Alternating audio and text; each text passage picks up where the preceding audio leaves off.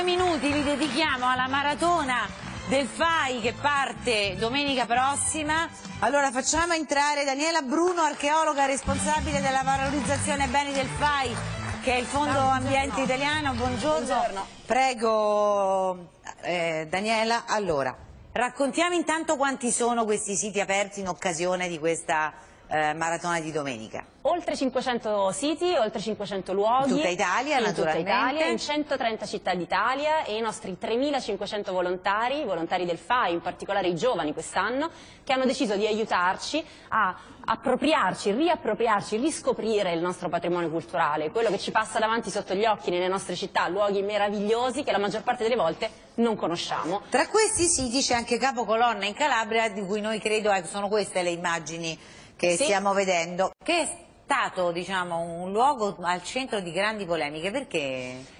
È stato un sito molto problematico, intanto è uno dei siti della Calabria più archeologici più importanti in assoluto, con un tempio famosissimo del VI secolo a.C., una città romana, un museo straordinario, che ha subito un danno, vedete, eh, questo era il Sì, esatto, lo spazio davanti alla chiesa principale, che peraltro ospita una, una festa molto amata dal paese, che era stato completamente lastricato, tombato, sotto una coltre di cemento e con rete elettrosaldata, le- eh, una rete fatta apposta per i parcheggi, che sinceramente non si prestava a quello che c'era sotto, nel senso che poco prima di fare questo lastricato si era scoperto lì sotto il foro della città romana di Crotone, eh, la città di Capocolonna, per cui un posto straordinario che era il caso di valorizzare e di certo non seppellire sotto il cemento armato. Allora, facciamo l'appello del FAI, il titolo di questa domenica è... eh, Fai Marathon, alla Fai Marathon vi invitiamo tutti quanti, in 130 città italiane ci saranno percorsi tematici. eh, Ricordiamoci di salvare l'Italia non soltanto domenica però.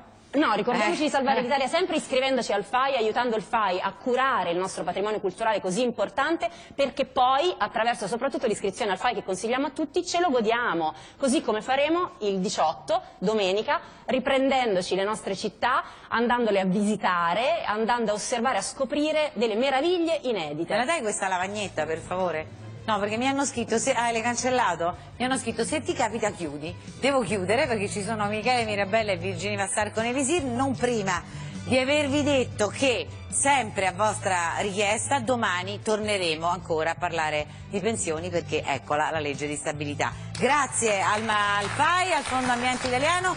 Elisir, Michele Mirabella, Virginia Vassar, mi manda Rai 3 e torna domani perché è sempre con te.